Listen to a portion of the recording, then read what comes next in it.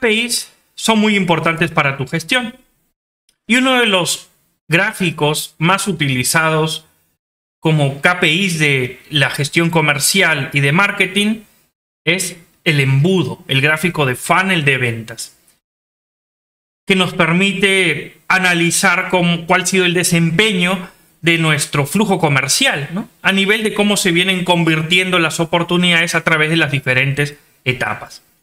Sin embargo, pocos saben elaborar ese gráfico bien. Tal es así que he buscado videos en YouTube, contenido en Internet, blogs. No hay una sola pieza de video que yo haya encontrado que nos expliquen cómo elaborar de manera correcta, apropiada, un KPI utilizando el gráfico de embudo sobre las oportunidades o los leads de ventas. Todos cometen el error de simplemente utilizar ese gráfico por utilizar. ¿no? Te dicen, te voy a mostrar cómo hacer el embudo y te enrean en un montón de temas técnicos para que al final te hagan un embudo mal hecho. Gráficos, eh, videos sobre cómo hacer embudos, hay un montón. Ninguno me ha servido porque está pensado para otro tipo de temas, ¿no? para analizar la gestión comercial. Entonces en este video te enseñaré a hacer ese gráfico.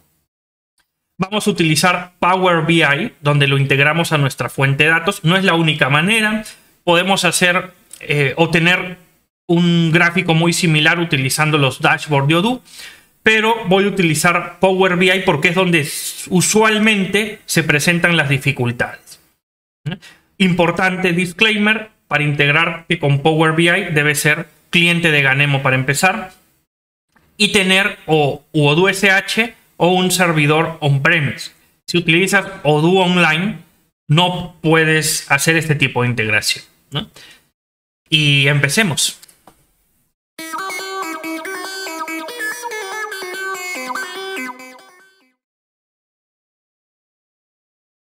Contextualizando, ubicándonos en aquello que vamos a elaborar y aprender, lo primerito es saber que vamos a partir de la información de nuestro CRM en Odoo. El potente CRM de Odoo tiene un pipeline, un flujo donde nos muestra las etapas, que son aquellas etapas por donde nuestras oportunidades van caminando, van pasando a lo largo de la gestión. Entonces el embudo quiero que demuestre esas oportunidades, pero de una manera ordenada, estructurada y con información útil. Para eso hago uso de Power BI, donde ya tengo identificadas mis tablas de mi base de datos. En este caso, la tabla sobre la que voy a trabajar es la tabla de leads y oportunidades. Lo bonito de el modelo de datos de las oportunidades de los leads en Odoo es que es muy, muy enriquecido. O sea, para que te hagas una idea, toda la información que te viene mostrando, ¿no?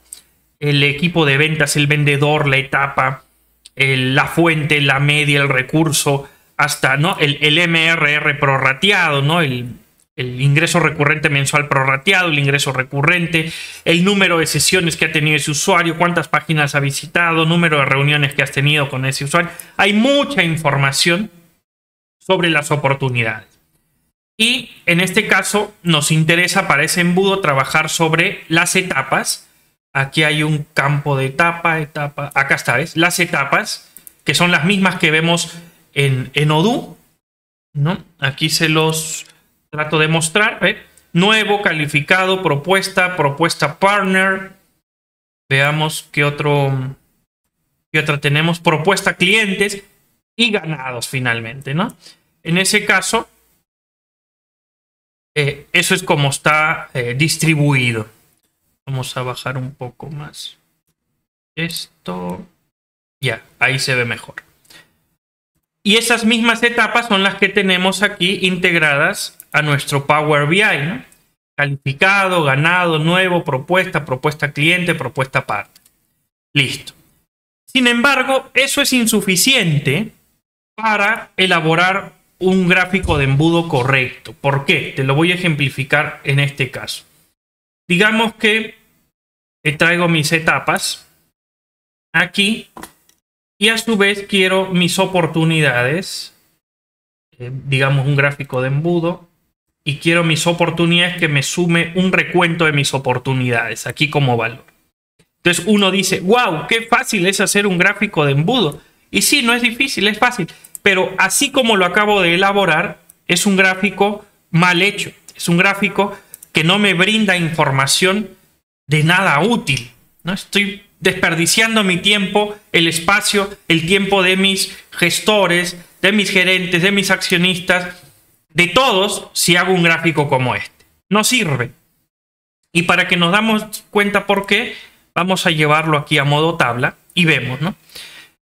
Eh, por ejemplo, en la etapa nuevo me dice que tengo 283 y es correcto. Si yo veo en Odoo ¿no? cuál es la cantidad de, de oportunidades que tengo en la etapa nuevo, voy a tener el, 283. Pero esa es una foto de lo que tengo en este momento. No significa que solo hayan pasado 283 oportunidades por la etapa nueva. De hecho, todas las oportunidades que están ganadas han tenido que pasar por la etapa nuevo. Todas las oportunidades que estén calificadas han tenido que pasar por la etapa nuevo. Entonces, es más el número que he ingresado por esa etapa y necesito saber ese número si luego quiero entender cuáles han sido mis tasas de conversión. Si no, no, me va a servir. Lo mismo con eh, la etapa calificado. En la etapa calificado, actualmente sí que tengo 838 oportunidades calificadas. ¿no? Ahí tengo que presionar, ver, revisar, más que presionar con mi equipo comercial qué pasa que, que tantas calificadas tenemos. Eso ya debería estar en propuesta, ¿no? Pero bueno, tenemos un crecimiento impresionante, así que soy comprensible con ellos, ¿no? Estamos contratando asesores comerciales, por cierto. Entren a nuestra web y ahí están nuestros, eh, pueden postularse, nuestros datos de puestos disponibles. Em, entonces, si bien hay actualmente 838 calificadas, en realidad eh, todas las que están como propuesta en algún momento estuvieron calificadas también. Y todas las que están ganadas en algún momento también estuvieron calificadas. Entonces, esta es una foto de, de la situación actual de la cuenta actual de oportunidades en esa etapa, pero no me dice cuántas oportunidades han pasado por esa etapa, ese dato. Entonces necesito un acumulado que siga un orden. Ahora les voy a mostrar cómo se halla ese acumulado. Por otro lado, hay ciertas oportunidades que me causan, em, que no me permiten hacer un cálculo correcto, porque tengo propuesta, propuesta clientes, propuesta partners. Tengo tres etapas diferentes para lo que es la propuesta. Porque así a nivel de gestión lo dividimos en tres etapas, ¿no? Para identificar cuántas propuestas hay eh, de upselling sobre clientes actuales, ¿no? Y diferenciarlo de cuántas propuestas hay sobre em, interesados o prospectos que no son clientes actuales. Y cuántas propuestas hay relacionadas con partners, ¿no? Con partners de Ganem. Sin embargo, está bien para nuestra gestión, pero para el gráfico que quiero, no me sirve tener tres propuestas separadas. Quiero una sola etapa de propuesta para saber cómo, cómo van ahí, ¿no? Cuánto, cuántas propuestas realmente eh, he realizado. Dicho eso, ¿cómo hago?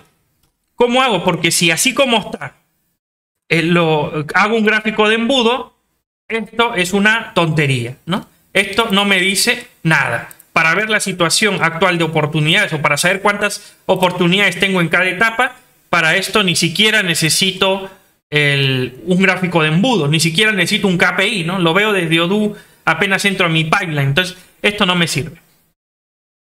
¿Qué hacer? Primero, te diría, a través del editor de Power Query, transforma tu tabla para que automáticamente aquí, este pipeline que vemos aquí, agrupe las etapas en base a aquellas etapas que te interesan. Entonces te das cuenta, aquí las agrupamos por el orden que queremos. Entonces, por ejemplo, tengo la etapa nuevo, calificado, propuesta, ganado. Ya no tengo propuesta partner, propuesta cliente, no, propuesta nada Quiero ahí ver todo lo, que está en etapa propuesta. Y luego lo ordeno, ¿no? ¿Cuál es? Empezando de, en orden descendente o ascendente, digamos, contrario. Y yo empiezo por la etapa nuevo, ¿no? Porque en total tengo cuatro etapas en mi flujo comercial. Entonces la, empiezo por nuevo, luego lo califico, luego propuesta y luego ganado, ¿no? En el orden de 4, 3, 2, 1. Simplemente para darles un orden.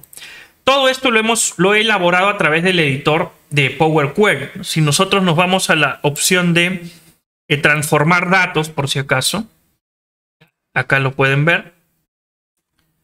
Eh, la ventaja que tiene eh, Power Query al momento de transformar datos eh, es que guarda todos los pasos de transformación. Entonces, basta con que yo haga esta transformación o ejecute este, esta transformación una vez y cada vez que nos conectemos a la base de datos de Odoo para actualizarla, porque la idea es que los reportes se actualicen en automático, ¿no?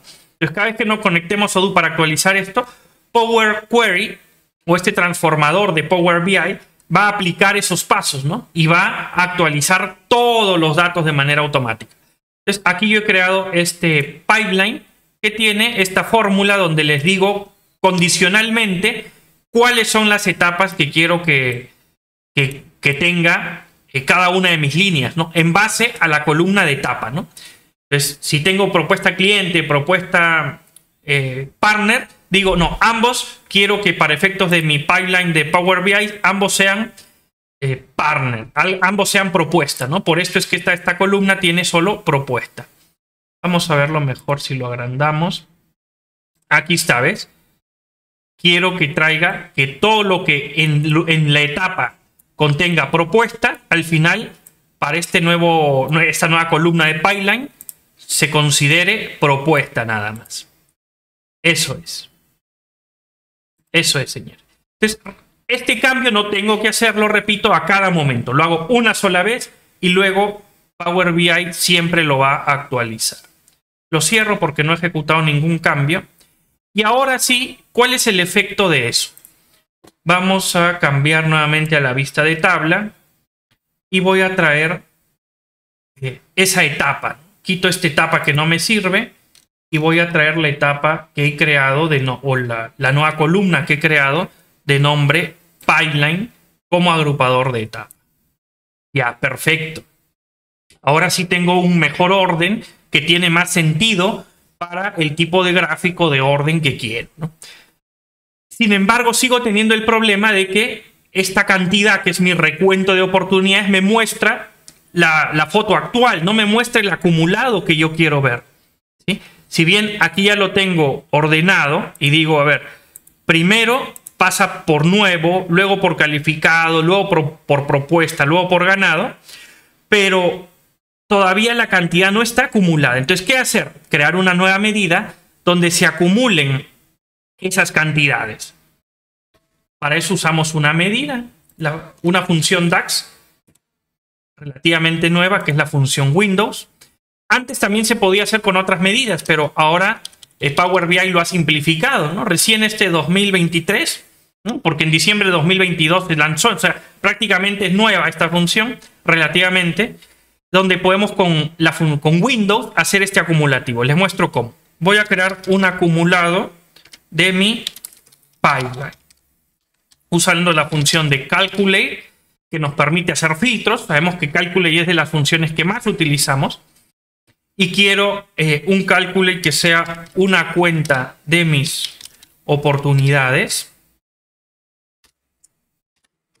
Luego, el filtro correspondiente, el motivo por el que usamos Calculate es que nos permite añadir los filtros que necesitemos. Y en este caso, el filtro sobre el cual va a acumular va a ser em, una función Windows, ¿no? una función especial quiero que acumule desde, desde menos 4, porque tengo 4 filas, ¿no?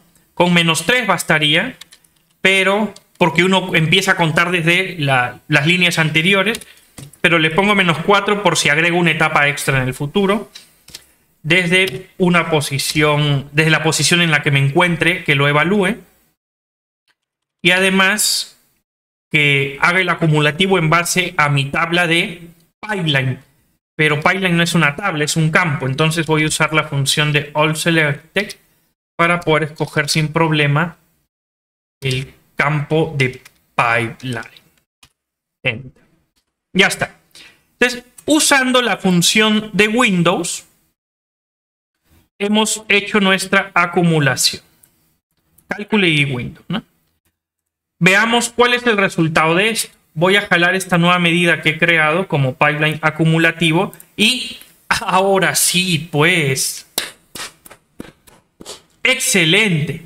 tengo mi pipeline acumulado, es decir, a, través de mi etapa nuevo han pasado en total 3.506 oportunidades, de las cuales 3.223 fueron calificadas, de las cuales 2.385 se convirtieron en propuesta y de las cuales 472 finalmente se ganaron. Esto sí va a ser útil para ese análisis de conversiones a través de mi pipeline, a través de mi flujo de trabajo comercial. Esto es lo que queremos. Y esto, si lo llevamos a nuestro gráfico de embudo, ya nos va a dar esa información que tanto nos interesa. A ver, creemos el embudo, traigamos esta nueva medida de pipeline acumulativo que tenemos y que sea a través de las etapas que hemos creado, del pipeline que hemos creado con eh, Power Query, ¿no? Eh, aquí está. ¡Epa! ¡Qué bonito! Ahora sí que sí. Ahora sí. Así es como se ha venido desarrollando mi pipeline. Esto ya me da información más útil. Inclusive quiero que sea más útil todavía. Entonces, a la medida acumulativa, vamos a añadirle unos decimales. Ya, ¿por qué? Porque aquí tengo 470 ganadas, ¿no? Entonces le pongo decimales para poder visualizarlo así también a nivel de decimal. Y este porcentaje que vemos aquí, de 13,50, ya es más útil para mí. Eso sí me da la información que quiero. Es decir, mi tasa de conversión es de 13,50%. Lo comprobamos. Traigamos una calculadora aquí. Vamos a ver. Si dividimos 472 entre 3506, nos da 13,50, ¿no? Porque eso es... Ahí está, 13,50 es el resultado. ¿Qué quiere decir? Que la tasa de conversión de Ganemo, de nuestras oportunidades, es de 13,50. Extraordinario, ¿no? Es una tasa muy buena. Y aún así, mi equipo comercial, si me está viendo, me está escuchando, tiene que mejorarla. ya sabe, hacemos mucho trabajo al momento de eh, seleccionar y segmentar bien nuestra audiencia para que los leads calificados que les llegan y previamente filtrados sean muy buenos leads. Tenemos una base de datos increíble para, para un ejecutivo comercial, para un asesor de venta. Entonces, esperamos una tasa aún mejor que el 13,50. Pero, ¿se dan cuenta cómo puedo medir a mi equipo comercial? Porque tengo este KPI, tengo esta información tan útil. Puedo saber si están cumpliendo o no están cumpliendo con sus metas. Bien. Eh, es una manera, ¿no? Incluso yo tengo otro gráfico más útil donde veo la evolución en el tiempo de mi tasa de conversión, que eso yo lo prefiero, por ejemplo, más, más que el embudo. Pero de esas herramientas ya podemos hablar. Si les gusta este tipo de temas, déjenlo en los comentarios y así lo hablamos en otros videos. Así que Suscríbete al canal para que no dejes de aprender. Y si tienes internet, ahí nos vemos. thank you.